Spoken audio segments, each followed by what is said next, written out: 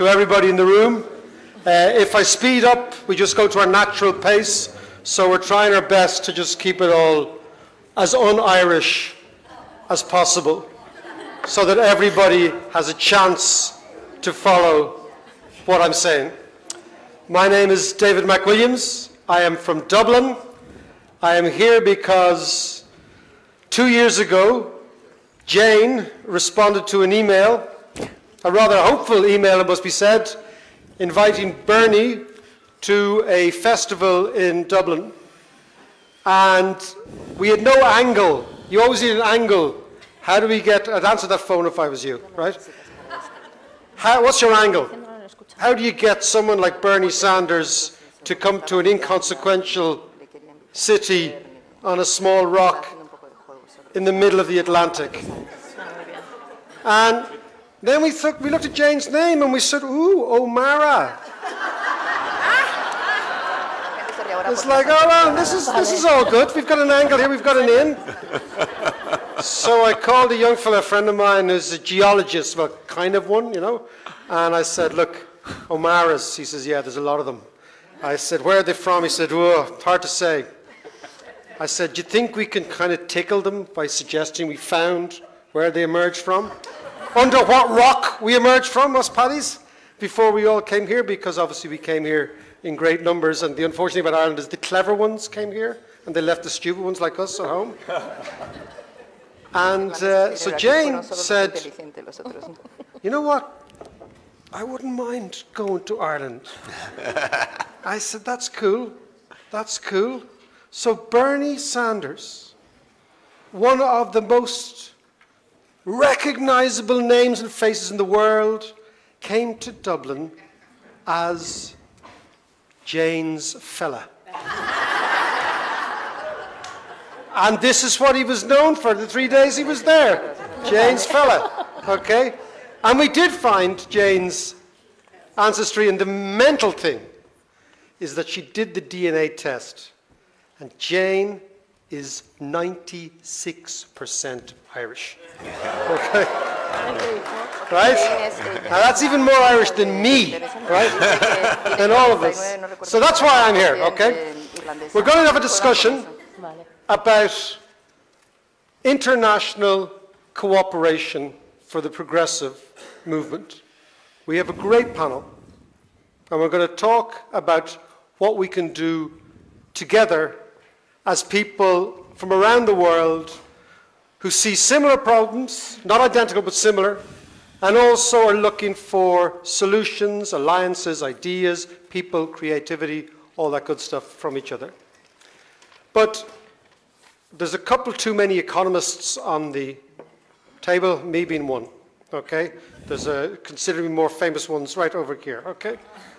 But if I was an American economist, or a British economist, or God forbid, a Canadian economist, I'd come here with charts and graphs and all that sort of stuff to explain what we're going to talk about. But as I'm an Irish economist, I come here only armed with a book of poetry.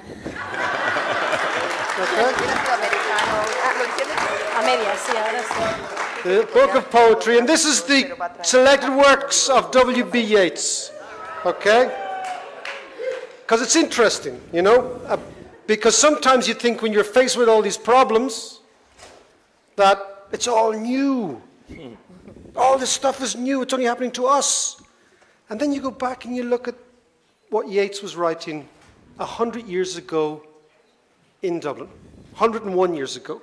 Yeats is sitting in Dublin, 1917. He's looking around the world. He's looking at Britain and Germany and Russia, and the Ottoman Empire and the Austrian Empire. And he's thinking, what the hell is going on? What the hell is going on? And he decides to write a poem called The Second Coming. Now, Irish kids get this drummed into us, so it's not some extraordinary talent for poetry that I have. It's just a fear of Jesuit priests, okay? It's a deep fear, okay? Okay? But I, just listen to the words and then let's talk. Turning and turning, in the widening gyre.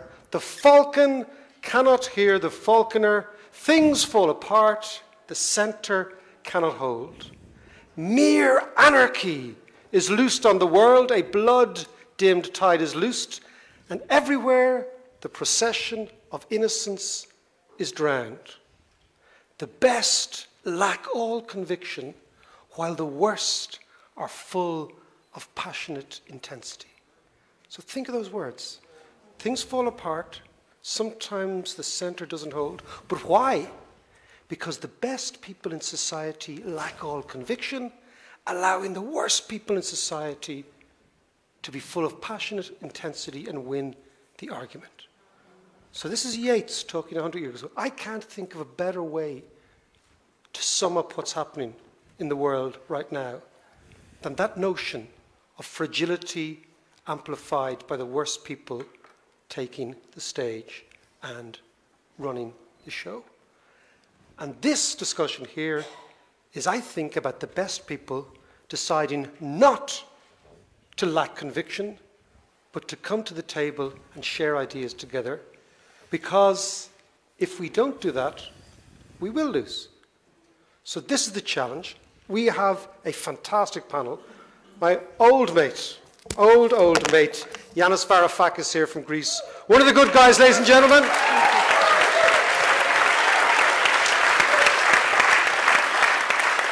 Niki Ashton, Canadian MP for the NDP. Jane's fella.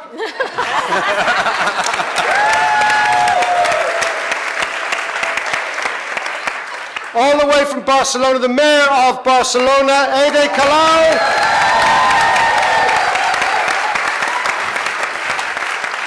And the man from whom I learned everything as a young economist reading his work, Jeff Sachs, ladies and gentlemen.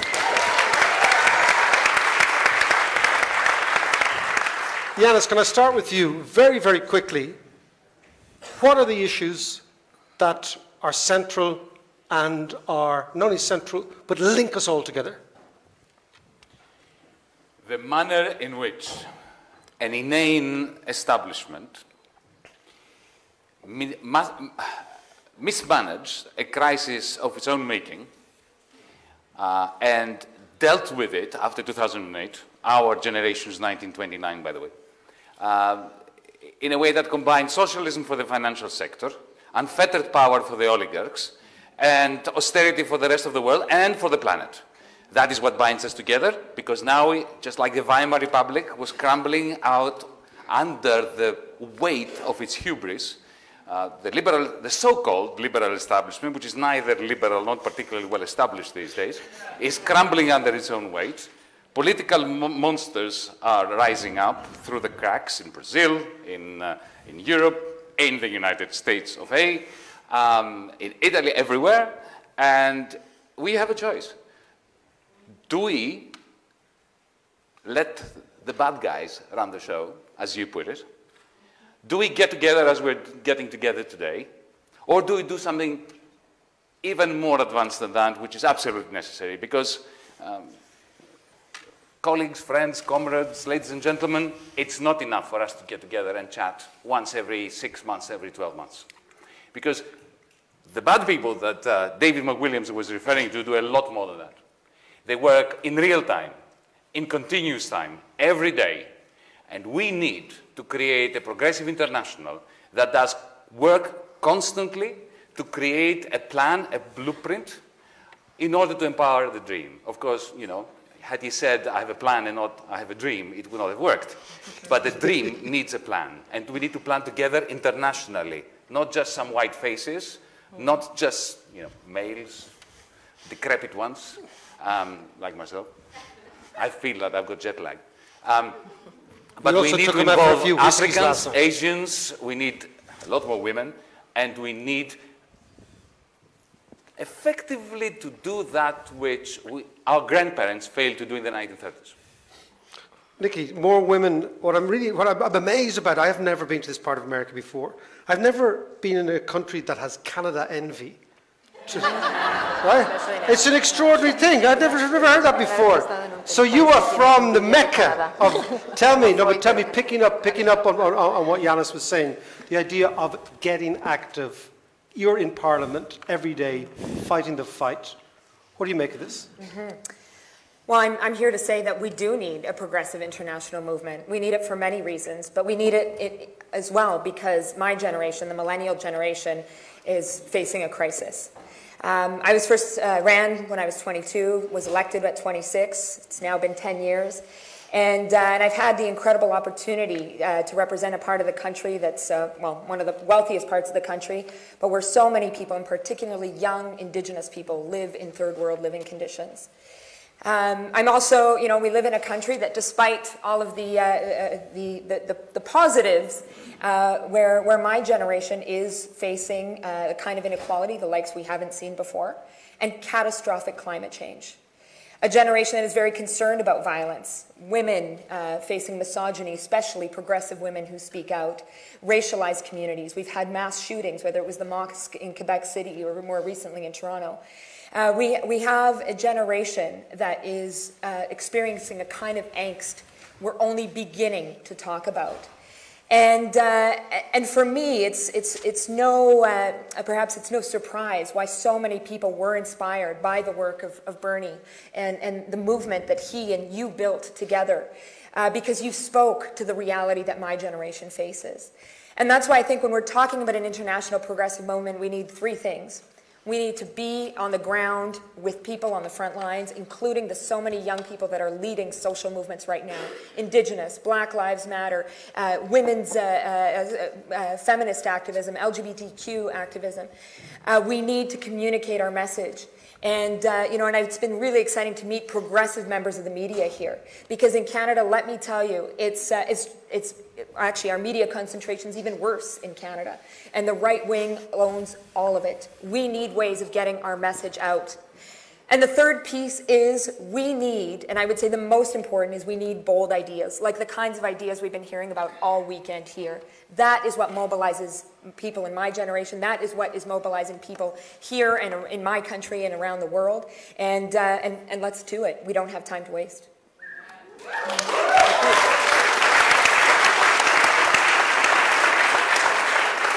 Jeff Sachs, ideas, mobilization. You've spent years and years taking ideas and getting them executed, going through all the hassle, all the hoops, all the pushback. What's the next one? I want to add a concept uh, to our discussion, sustainable development, because it's a good and important concept.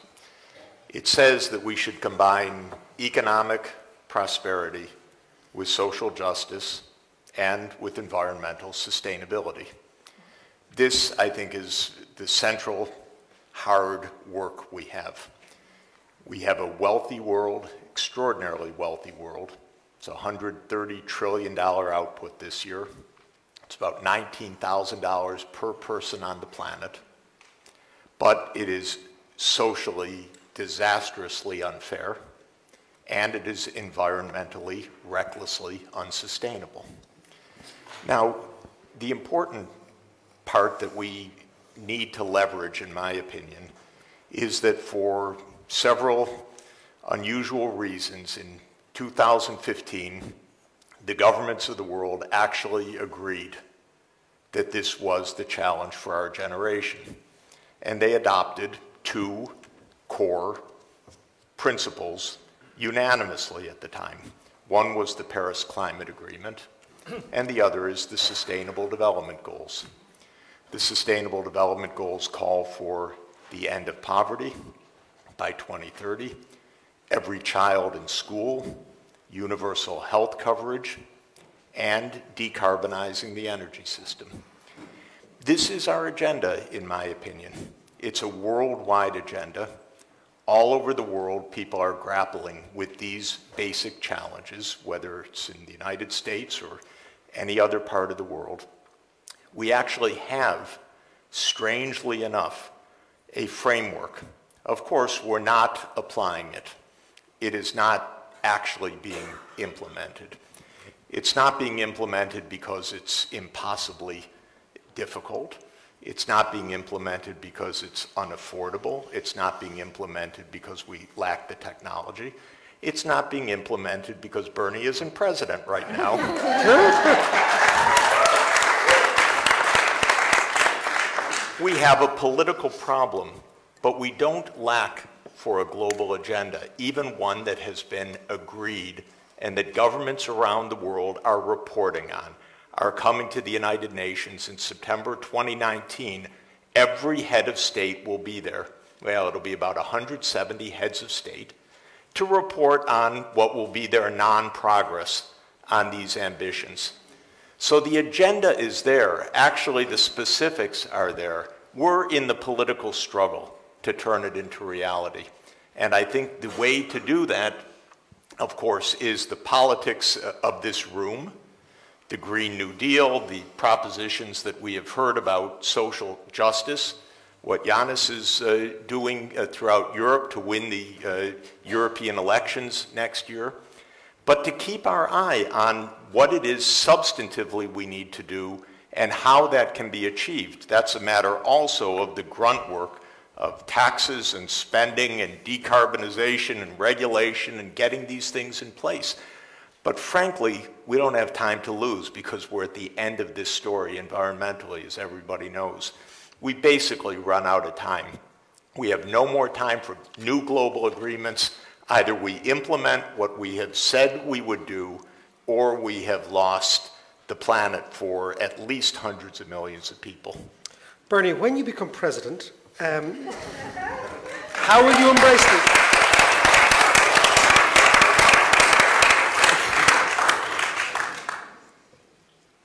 What are you going to do? it's well, a very it's a, a little bit provocative there, um, look, let me agree with everybody who has already spoken. Uh, the bad news is that we are facing unprecedented challenges. What Yanis will talk about, I'm sure, in a moment, is the rise of right-wing extremism uh, all throughout Europe. Uh, we have talked about the climate disaster. Uh, we have talked about a broken criminal justice system. And by the way, let me thank my wife Jane for this, is that if, if this conference means anything, what it means is that we have to break the silos that currently exist in the progressive movement. Because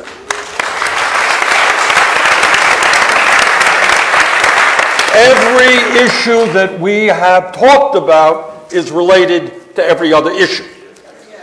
When we talk about, as Jeff just mentioned, literally the top 1% in this globe owning more wealth than the bottom 90%, that's just not wealth, that's power. And when Niki talks about the media, those are the people who not only own the media in Canada, it's Rupert Murdoch, it's Fox, it's right wing folks who control the level of discussion in this country and all over the world. It is the fossil fuel industry who worries more about their short term profits than they worry about the future of this planet. It is the prison industrial complex. It is the military industrial complex. We heard in the last panel the enormous amount of money being spent on prisons and police. We are, forget that, we are spending $700 billion on the military in the United States alone. That is more than the next 10 nations, most of whom are our allies. Throughout the world, we're spending well over a trillion dollars on the military. Think what that could do to alleviate poverty in this world, to provide the quality of education. To, in fact, to do what all of us know we can do, and that is that we have the technology now to transform our energy system away from fossil fuel. And by the way, when we do that, we create millions of good jobs in this country and around the world. Last point that I want to make, and I'm sure Yanis, who comes in a sense from where the real battles, many of the battles are taking place now, and that is the growth of authoritarianism. What all of us have got to do, I mean, we've all talked about the need to get out of our classrooms and, and, and to get into the battle, to go into the areas where where the people are. But please understand this, in my view, maybe I speak only for myself. Trump became president of the United States because there is a massive amount of pain in this country, which is not seen on television, which many of my Democratic colleagues do not know and do not talk about. The life expectancy in the United States of America has declined for the third straight year. And often that is taking place in rural areas where people have no income, no jobs, no education, no hope for their kids. So we have got to reach out to all of our brothers and sisters, black and white and Latino and Native American and Asian American, and come up with that agenda that speaks for all of us, not just the 1%. Okay, I'm going to hold those, those ideas. Thank you very much, Frank. Because I want to go to Europe. Ada, I want to go to yourself. You're mayor of Barcelona. You're going to talk to us a little bit. Tina, are you going to give us a hand? Oh, absolutely. Anytime. Okay. So, Ada, tell me your, your story in Barcelona. Thank you. Um, first of all, I'm so sorry because my English is so bad. So I try to speak in English, but uh, we have Tina, a friend, that help us. And first of all, thank you so much uh, for invi this invitation. For us, it's very important. I'm, I'm, very grateful to be here. If you had told me uh, four years ago that I, a working class woman that didn't have contact with the elites or with any kind of power, would be elected mayor of Barcelona, would be here with Bernie Sanders all, and all of you, I wouldn't believe it. I think, I think you say here, uh, yes, we can, and in Spain we say, si se puede.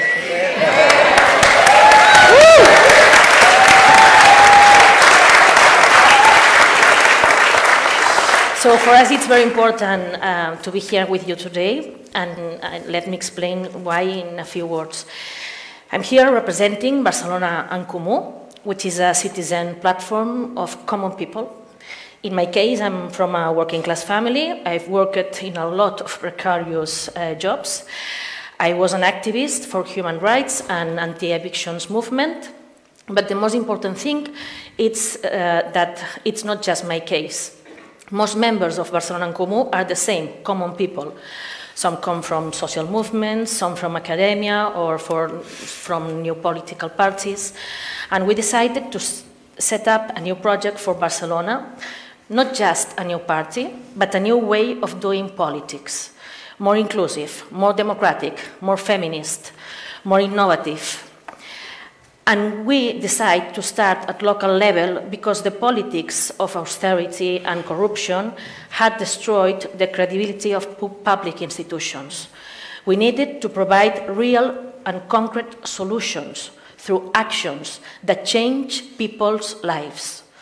Because the local level is the best place to improve democracy. It's where we live our daily lives, and is where the government is closest to the people. So we came together around our shared goals for the city and with, uh, without having any media or economical or political power, we won the elections three years ago. I was elected a first woman mayor in the history of Barcelona.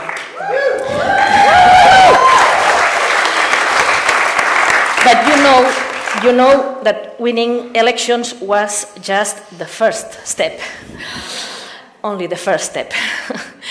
What's happened in the last three years? Let me start by saying it has not been easy. Uh, we are in a minority in government. We've had a complicated situation in Catalonia, as you probably know, and cities in general has limited powers. But despite this, we've changed the agenda. Today, Barcelona is the city with the highest social investment in Spain. For example, we've, we've created a special investment plan for the poorest neighborhoods, or in healthcare, which is not a municipal responsibility. We have created a municipal dentist and a mental health plan. But it's not just uh, about increasing social investment. It's not enough. We are here because we are making, we need to make structural changes. Like, for example, creating the, the first municipal energy company in Spain that provides green energy to city facilities. On, uh, and for the first time, the city government is standing up to multinationals who speculate in our city. We are forcing big companies to pay their taxes for the first time. And inspiring, inspired by other cities like New York, and here we have Bill de Blasio, a friend. Inspired by other cities, we are forcing constructors to make 30% of all new housing affordable. And we have, and we have uh, fined Airbnb for advertising uh, illegal apartments and creating gentrification. So why, why it's important for us to be here today? Not only to share experiences, um, we need initiatives like this because we don't have uh, media, economical power. People stop us in the street every week and say that the news of what we are doing doesn't reach them. And our adversaries are organizing to stop us, of course. they are circulating fake news. For example, every week, and it's true, every week people stop me and ask me why I have moved to the richest neighborhood in the city, which is a lie, of course. and the opposition parties are des des desperately looking for famous candidates for the elections in May, next May. For example, one of these parties is bringing a former Prime Minister of France to stand against me. Um, that's why this initiative is so important. Uh, right right now, the racist, violent, homophobic, and sexist far right is organizing. We need to amplify all of the alternatives we are building around the world to prove that we are not alone and that change is possible. In the face of the far right that feeds on the fear of our neighbors, we need to build hope and build this hope together with others not against the other. Only in this way, with alliances built from below, can we defeat the Salvinis, Bolsonaros, and Trumps in the world. Because we want a feminist world, which means equality for all and putting life at the center. We need to build community, locally and internationally, a community that can transform fear into hope. It won't be easy, but I'm convinced it's possible. It's up to us to make it happen, and I think with you it's possible. Thank you very much. Wonderful! Wonderful! Wonderful! Wonderful, wonderful, wonderful!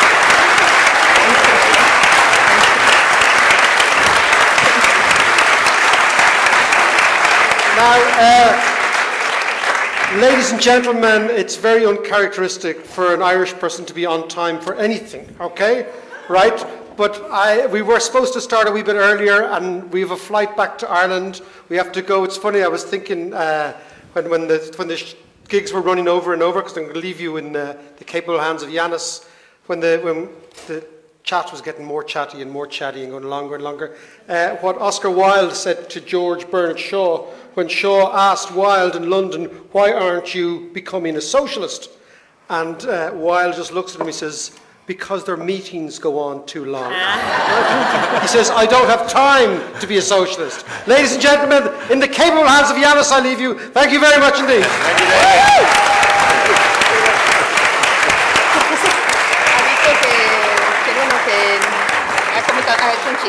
Well, this is, this is an unexpected honor. and allow me to abuse immediately my new authority. Uh, because there, there is a score I need to settle. Now, the reason why you know me, I'll speak personally just for a second. The reason why you know me is because my country uh, went down the toilet in 2010, to put it um, uh, vulgarly. Uh, what happened was, of course, the subprime pain from the Midwest through the circuits of financial capital, traveled to Europe, turned Ada Colau into a campaigner against foreclosures. This is why she became known. This is how she grew up as a leader of a movement, as a woman that was fighting against evictions, home evictions in the suburbs of Barcelona.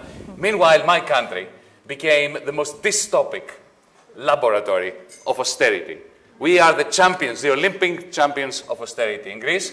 The result is that as we speak today, 60%, I'll repeat that number, 60% of children in Greece are below the poverty line, the 2008 poverty line. One in two families have no one working in it. Now, what happened then? Such a Great Depression, friends, begets a progressive movement that responds and Nazis. We have the third largest party in our parliament is a not a neo-Nazi party. There's nothing neo about them. They do Sieg Heils, they have Hitler. Yeah? At the same time, our progressive movement won the election in 2015, and this is why you know. And here is how I'm going to settle my score here at this very moment. Immediately, a certain senator from Vermont wrote a brilliant letter, you remember that, Bert, to the managing director of, of, the International Monetary Fund, Christine Lagarde, and shared a piece of his mind with her regarding the uh, crime against logic, not just humanity, that the IMF and other institutions, creditor institutions, were. Effectively, we are the Puerto Rico of Europe. And it's not my saying, this was what the finance minister of Germany said uh, to your own finance minister, Jack Lew, when Jack Lew just very mildly complained about the treatment of Greece by Germany, the German government, but not by Germany, and uh, Wolfgang Schäuble said, would you trade Puerto Rico for Greece? This is the kind of mindset which typifies the collapse. Now, during that month as well, um, a certain professor of economics from this country, actually a couple of them, and both of them are in the room. One is Jeff Sachs, the other is Jamie Galbraith, joined my team, and we did battle together. The reason why I'm saying that is because interconnectedness, as Bernie was saying, is at the heart both of the Nazi movement the, and the establishment, the two faces of authoritarianism. Because Mr. Valls, who's going to be competing against Ada, is one of the faces of authoritarianism.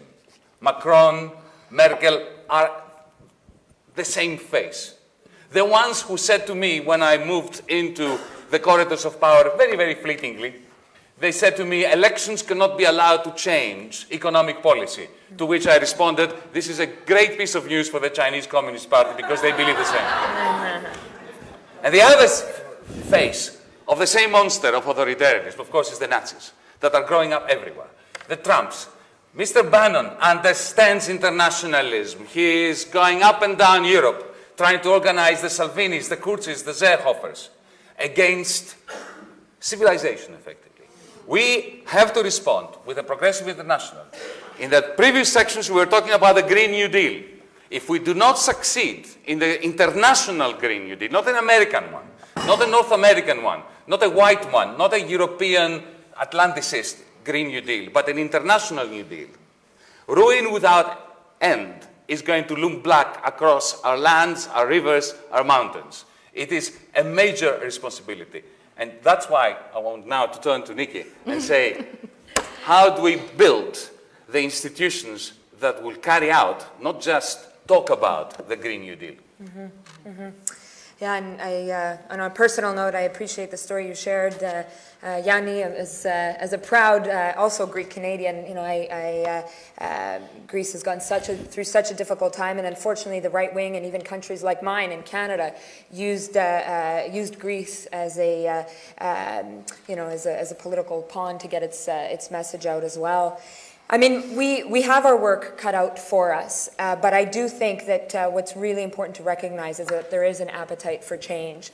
And, uh, you know, I, I, uh, I, join many in hoping that uh, the individual sitting next to me will run again for president because, uh, because it's clear to me that, that, that, that you, Bernie, I. Um, you had your finger on the pulse of not just where people in your country are at, but also where people increasingly in my country and around the world are at as well. And what I really appreciate about the work that you've done and so many people here this weekend is that you believe that change can be achieved through the political process. And speaking of, of these institutions, we have to connect the theory with action and we have to get involved at the ballot box. Uh, you know, and, and, and, talking about it is not enough. Talking about it in, uh, uh, you know, from afar is not enough. We need to get on, on the ground. We need to organize. I will also say that, uh, you know, and I, I, can't reinforce this enough, it is about ideas.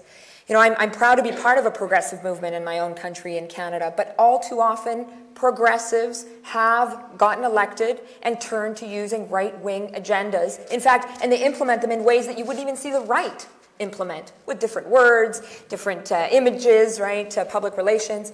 But in the end, it's the same sort of, uh, the, the, same, uh, uh, the same sort of policies. And so we need uh, to be very courageous. We need to believe in our, in our convictions. And we need to speak truth to power uh, in, uh, in envisioning that different world. And if I can just spend a moment in terms of what's, what's happening in Canada, because David had mentioned it is, it is sort of, there's a lot of envy here, although I will say Vermont is stunning and, and people here are very cool. So, uh, um, you know, I'd love to live here. Uh, but, uh, uh, but all to say it's, it's, it's, not, it's not what you think it is. I mean, right now we have a prime minister who has invested $4.5 billion, our dollars, into buying a pipeline right? I mean, this is, a, this is a prime minister and a government that are right hand in hand with big oil. It's a prime minister who's attacking indigenous peoples day in and day out and disrespecting their rights. It's a prime minister who's just brought uh, uh, uh, back to work legislation for postal workers in our country, an anti-worker agenda. And so, you know, don't, don't believe what you hear. I'm not saying it to this room because you know, uh, but, uh, uh, but, but we have our work cut out for us in Canada. And, and we need to keep pushing the envelope. You know, in Canada, we talk a lot about the health care that we have. We don't actually have Medicare for all. We don't have pharmacare. Uh, we don't have uh, uh, dental care. These are the kinds of things that, uh, that, that we need to keep pushing for. And, and what you've done here inspires us to do that. Free tuition. We also don't have that. I remember telling somebody that I work closely with, I said, look, Bernie Sanders is talking about this. We need to get with the program here in our own country and, uh, and, and, push for free tuition. And ultimately, I mean, you know, it's, uh, we, we need, uh, you know, we, we need to call out those that are not uh, you know, they're not on our side, and we need to work uh, with those that are already doing the work, pushing for change. They are out there day in, day out, and particularly young people, people in my generation and those that are coming up, that are doing it from a place of uh, some desperation, some, yes, inspiration, but some with an extreme sense of urgency. Thank you. Jeff. I'm, I'm trying to stick to the, to the rotation that David uh, introduced, because we Irish and Greeks are the blacks of Europe, as we used to say in England when we used to study there. Now, uh, uh, Jeff, sustainable development, which is something that uh, you breathe uh, and live on a daily basis as an academic, as an activist, as a person of influence uh, across many different continents. How do we build the institutions from scratch and which institutions from the Washington Consensus do we usurp in order to build the Green New Deal that will provide sustainable development? And how do we do this in practice and in political terms? Good. Clear goals, clear plans, and accountability. I would say those are the three things. On goals, we know, for example, that we must decarbonize the world's energy system by 2050. This is the core, grim message of the science repeated last week by the US government, three weeks ago by the IPCC, by our experience uh, every day. How do you do that? Well, there are a lot of uh, important technical considerations of how to move from coal, oil, and gas to wind, solar, hydro, and uh, other uh, power. It happens, by the way, that the single best uh, vision of this is actually China's, uh, which is uh, so unknown in this country. but extremely important because Chinese engineers have done tremendous work on how to connect the world's renewable energy in long distance transmission, which is, happens to be an extraordinarily important uh, idea. Now, instead of having a maniacal trade war with China right now, which is some fantasy of American primacy on everything, because all this is is just the next attempt for to preserve what the uh, American uh, military establishment uh, believes to be our uh, inherent divine right to rule the world. We ought to be talking with the Chinese about how to build this global grid. So that's a plan. And then is accountability. You know, one thing on any sensible plan, I read hundreds of them uh, year by year. There's no place for the Trans Mountain Pipeline, for example, in any sensible plan in the world. Justin Trudeau should be ashamed of what he's doing.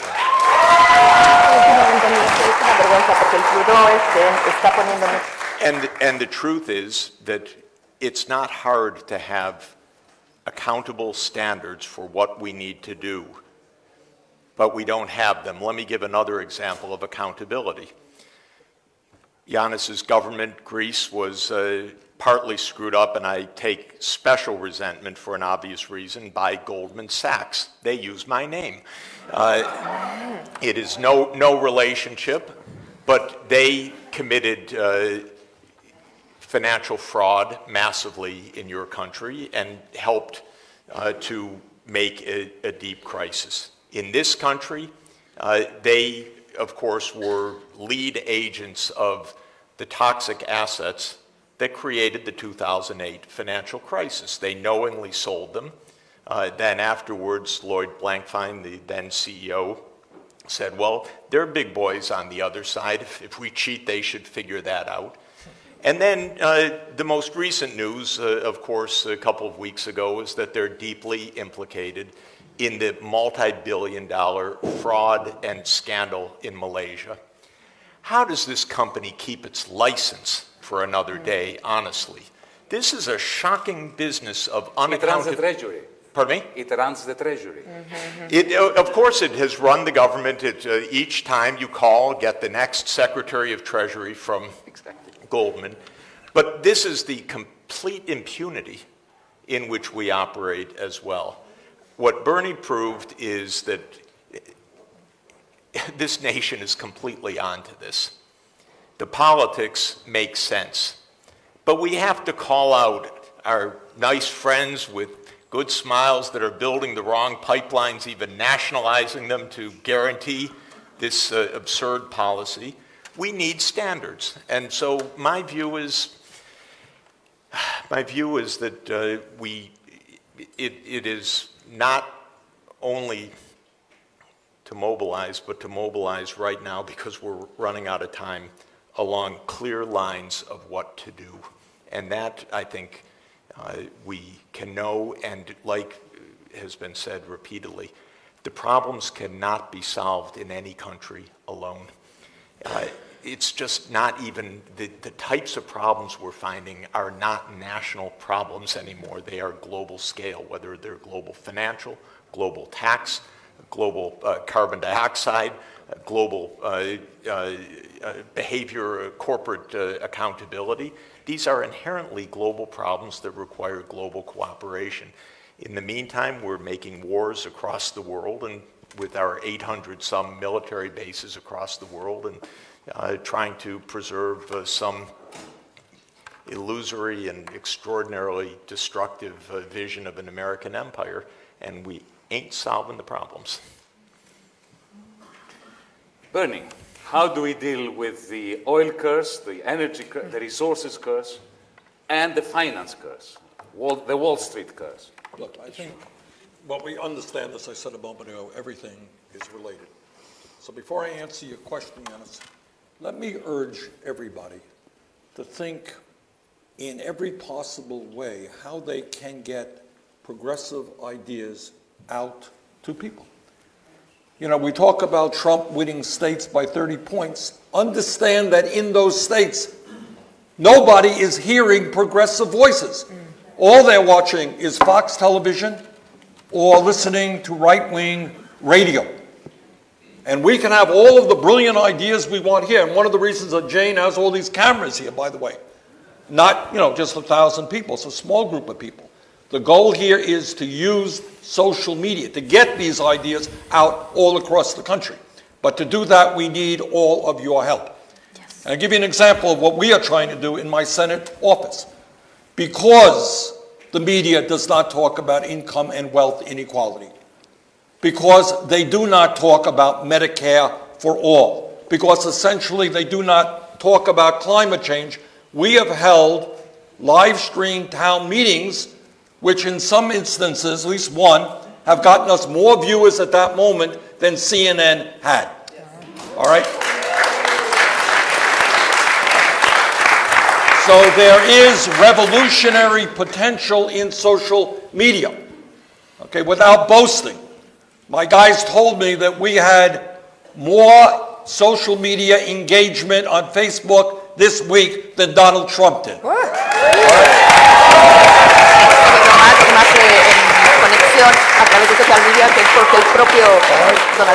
So, please, before we even get into the specifics of whether it is racism or climate change or whatever it may be, it's not good enough to talk to each other. Get that word out to people who have not heard these ideas. All right. To answer Yanis's uh, question, um, I believe uh, that the progressive movement uh, is going to have to do something which, for some people, some of our friends, is uncomfortable. Everybody here is righteous about talking about racism and sexism and homophobia and religious bigotry. And God only knows that we need to stand up and fight on all of those issues. But you know what else we have to stand up and fight on? Which too few of us are now doing. And that is the greed and recklessness of Wall Street. All right? You're not going to see too much of that on CBS. But you got a half a dozen, Jeff, correct me if I'm wrong, a half a dozen major financial institutions that have assets of what, 60% of the GDP of America. These people have incredible power. They run Greece. They run countries all over the world. We have to deal with the fact that three people in America own more wealth than the bottom half of our country. And as Jeff kind of implied, and all they're nice people. Many of them are pro-choice. Many of them have gay friends or gay staff members. It's true. Yet they run the world and their greed is destroying this world. And we have got to be vigorous in standing up to them. I think the issue, what we have going for us, and where I feel very positive about, is that when you explain issues to people, when you ask people, are you happy with giving tax breaks for billionaires? You know what people say? No, they should pay more in taxes. Do you believe in Medicare for all? Yes. Do you believe we should deal with climate change? Yes. Do you need criminal justice reform? Yes. Immigration reform. You got a president demonizing immigrants. Overwhelming majority of the people in this country believe in comprehensive immigration reform. People do not believe in tax breaks for billionaires and cutting Social Security, Medicare, and Medicaid, which is exactly what the Republican leadership believes. So the question that we have got to ask ourselves, how does it happen that when people agree with us on virtually all of the issues, strongly disagree with Republicans on the issues, how do they do so well eh, eh, politically? And some of that has to do with an issue we've got to deal with. And I want to hear our European friends talk about it.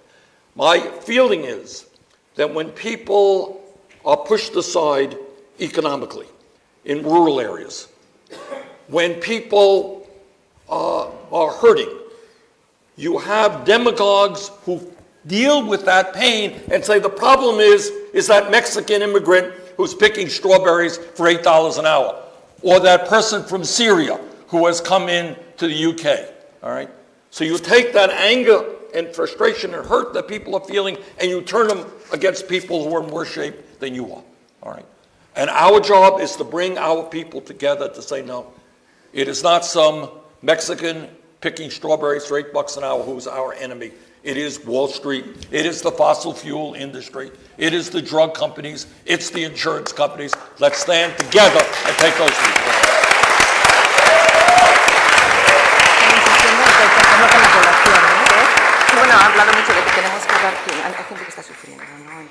Ada Colau is with us, and because of our long-standing relationship, I happen to know that Ada, as the mayor of Barcelona, did something magnificent at the time of uh, demonization of migrants, at the time when our governments were instructed not to accept any, and to effectively to use the Mediterranean Sea as uh, a great tomb by which to deter further emigration into Europe.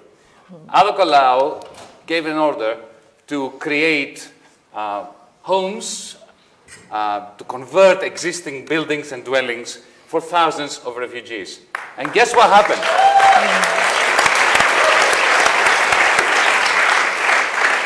The Spanish government and Brussels prevented her from taking in refugees from Lesbos, from Sicily, from the other parts of um, Europe, southern Europe, that are being used to this day as concentration camps for lost souls.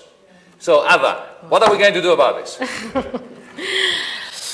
Um, um, maybe it's better if I speak in Spanish and we use Okay. Tina because it's a very important issue. And, em, seguramente la crisis, am, de la, la crisis de Europa en la acogida de los migrantes, porque no hay una crisis de los inmigrantes, hay una crisis de la democracia europea. ¿no? the, the, it's not a crisis. We are not talking about a, a crisis of the immigrants, but a crisis of the democracy in regarding to this. Am, eh, Europa es de las zonas del mundo que menos inmigración acoge. So Europe is one of the areas in the world that um, a, a- a smaller number of uh, immigrants are, are um, uh, taken.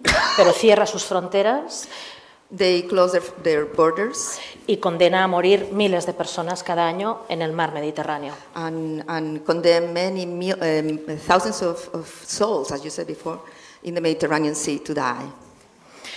Entonces, las ciudades, ¿qué podemos hacer no? frente a una política racista? Porque aquí hablamos de una política que institucionalmente es racista. So what, uh, what can we do and, uh, in front of, um, of a, a, policy that is racist, fundamentally racist? Entonces, como ciudades no tenemos competencias en inmigración, We don't have, as cities, we don't have competences um, with immigration, pero mm, no, no nos rendimos porque estamos aquí porque sí se puede. but of course we can do it, so we are not going to say no to this. Entonces, eh, una de las cosas que hemos hecho es una alianza de ciudades, Refugee Cities, So one of the one of the solutions that we made, one of the initiatives, was to have an alliance of cities, refugee cities, para presionar a las instituciones europeas, denunciar que se está violando el derecho internacional, es decir, en nombre de la democracia se está violando la legalidad. uh, to pressure the cities to, to denounce the fact that in, in name um, of this situation, um, excuse me, could you repeat that?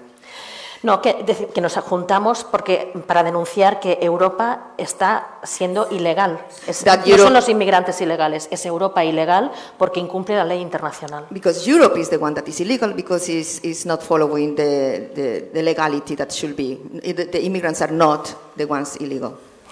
Entonces, eh, las ciudades buscamos acciones, por ejemplo, en Barcelona eh, no tenemos eh, una flota oficial, no tenemos barcos porque somos un ayuntamiento, pero nosotros colaboramos con barcos que están salvando vidas humanas en medio del mar, colaboramos con esos barcos para salvar vidas. So we need to, to invent possibilities. Uh, one of the things that, uh, for example, um, in, in this case, certain cities that cannot have other solutions. So this particular solution is to, since uh, Barcelona doesn't have their own um, uh, float uh, of ships, uh, they, they co collaborate with other places that have that option, that have those ships. Con NGOs que tienen barcos y a- a- nosotros ayudamos a esas NGOs que salvan vidas en, la- en el mar. So, so ONGs, uh, ONGs that have those um, ships, those, those possibilities, then they collaborate with those ONGs. O colaboramos con ciudades, por ejemplo, I don't know if, you know Riace, is a little town of uh, south of Italy, and they have an experience uh, very important because I think no, it's the best important thing. is it's important to have reason, but I think a classical error of of a classical most of classical left parties is to think that uh, have reason is enough. It's not enough. no? you, you need action. You need to demonstrate with concrete examples that there's an alternative. No? And in, in southern Italy, uh, Riace, uh, there's a mayor um, that opened his little town to immigrants. Y es un pequeño pueblo que estaba perdiendo población y que estaba en una inactividad y gracias a la política de acogida de inmigrantes el pueblo ahora ha mejorado su situación. So this particular town, as a small town that didn't have any, um, demographically speaking, it was like losing. Um, there was it was an, they, they did have with this opportunity new people coming to this town that otherwise didn't have people. Entonces, es una demostración concreta. En la Italia, donde gobierna el fascista Salvini, hay un alcalde que demuestra que la inmigración es positiva y genera riqueza. So this is an excellent uh, example in this particular case of this small town in Italy that you can create that, those possibilities with progressive laws. No, pero que es positiva la inmigración porque genera riqueza para el propio pueblo. Uh, the immigration is positive because it actually generates wealth to the, to the town itself. Entonces, por eso Salvini eh, ha denunciado en la justicia al alcalde de Riace, Mimo Lucano, y el alcalde de Riace ahora mismo ha sido procesado por fomentar la inmigración ilegal y ha sido obligado a dejar su pueblo, que es- no tiene precedentes esto. So uh, finally, what happened was that actually the the the, what, the, Mimo Lucano, el alcalde de Riace, the, the, the, uh, the mayor of Riachi was actually um, Arrested. arrested. Y obligado a alejarse de su ciudad. So he act, the, the paradox is that he had to leave he, uh, his own city. am, por Salvini, el fascista Salvini. For yeah. Ent- ¿Pero por qué? Salvini is afraid from Mimo Lucano, a little mayor of a little town, because he demonstrate that uh, a, a political of, uh, of refugees, welcome refugees, is positive for Italy and for Italian people. And, and now I think it's very important that all of us, we have to say that Mimo Lucano is the mayor of the world. It's our mayor, and we have to defend Mimo Lucano.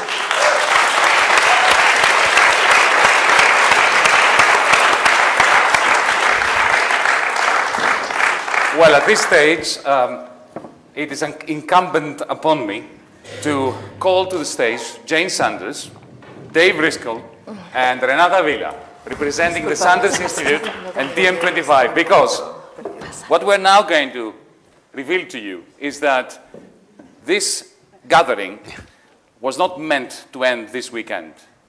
We are, well, I- I will- Yes, I need to look at everyone at the same time. We are now going to issue an open call to all progressives in the world. Because what happens as of tomorrow is going to make any difference uh, in this fight against the two faces of authoritarianism, against the Salvinis of the world on the one hand, and the so-called liberal establishment that created the crisis that begat the Salvinis of the world. So, here it is, and I'm reading it. You want me to read it, yeah, right? Okay. We wrote it together.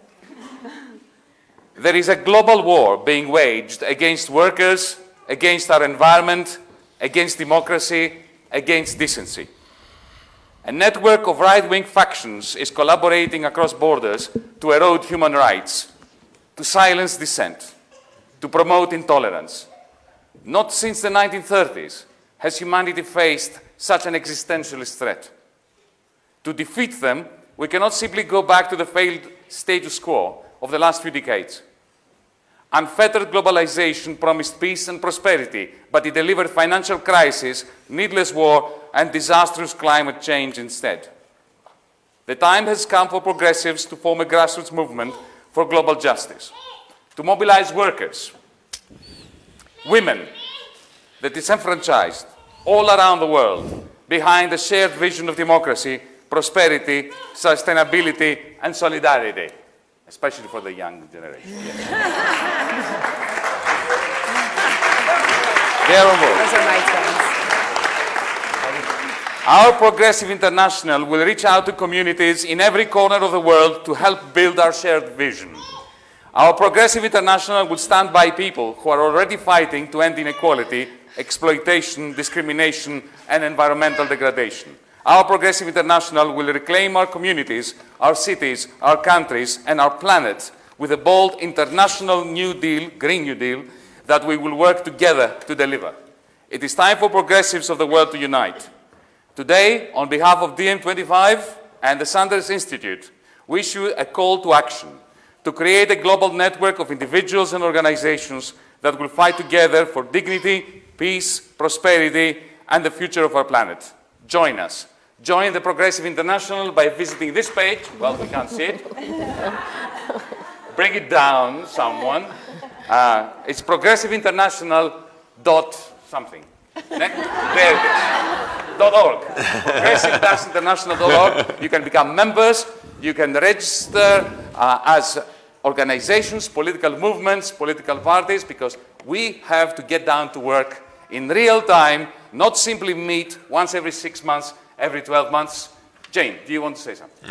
Just that we've heard from this international panel, and we've heard from panels throughout the entire weekend, or the couple of days that we've been here, and we'll hear again tomorrow, uh, that we need to be paying attention to, uh, to working together, not siloed, not siloed by country, by border, by race, by gender, by issue. We need to work together and define a, a, an international progressive New Deal, New Green Deal. And the first endorsement is coming on our screen right now from the Prime Minister of Iceland, mm. the wonderful leader of the left Green movement.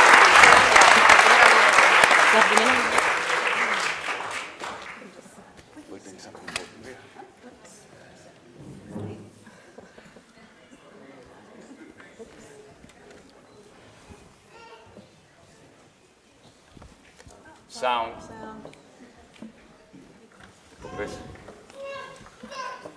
To counter the spread of reactionary politics and the rise of the radical rights in the world today.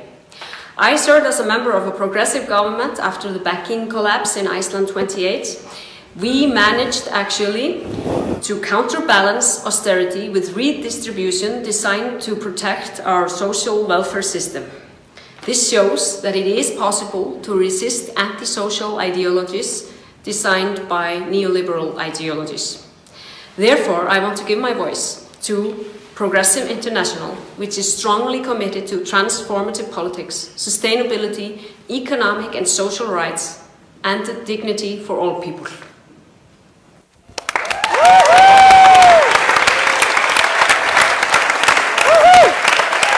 And now, because, as Bernie Sanders said, we have to become good at being propagandists. We cannot allow the right and the authoritarians to get away with their continuing triumphs at the level of uh, communication. So here's our first video as a Progressive International. There is a global struggle taking place of enormous consequence. Nothing less than the future of humanity is at stake.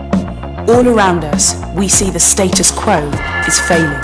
The top 1% now controls half the world's wealth, while hundreds of millions of workers remain trapped between poverty and precarity. Where globalization promised prosperity, it's delivered financial crisis and endless war instead. All the while, our climate moves closer to destruction. Out of this crisis, global authoritarianism is rising. These leaders promise to restore national pride by attacking minorities, a free press and democracy itself. But in the end, they only serve themselves. A chilling echo of the 1930s. Today's authoritarian leaders do not stand alone. They are part of a global axis of right-wing parties that shares funders, strategy and contacts. And around the world, they are gaining power. The time has come to form our own common front in the fight for global peace and prosperity. This movement will bring people together across the global left to think about the world we want to live in and how we make it a reality a grassroots movement mobilizing working people all around the world behind a shared vision of democracy, sustainability and solidarity. We will no longer settle for reformism. We will reach out to communities in every corner of the world and build shared power and solidarity. In every country, there are people who are fighting for progress, and we are so much stronger together. It is time for progressives of the world to unite. Let us begin today, building a better tomorrow.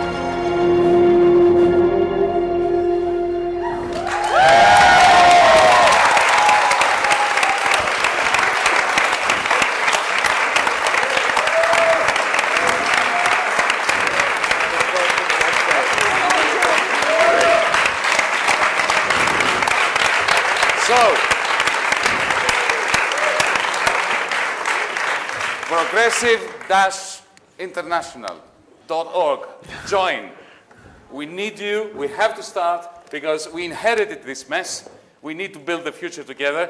And as a Greek who has every right to barge in and give advice to Bernie Sanders, let me convey a message from all of us in Europe for all those comrades of yours that are now struggling to reclaim our Europe, our cities, our world, our environment we need Bernie Sanders to run for president.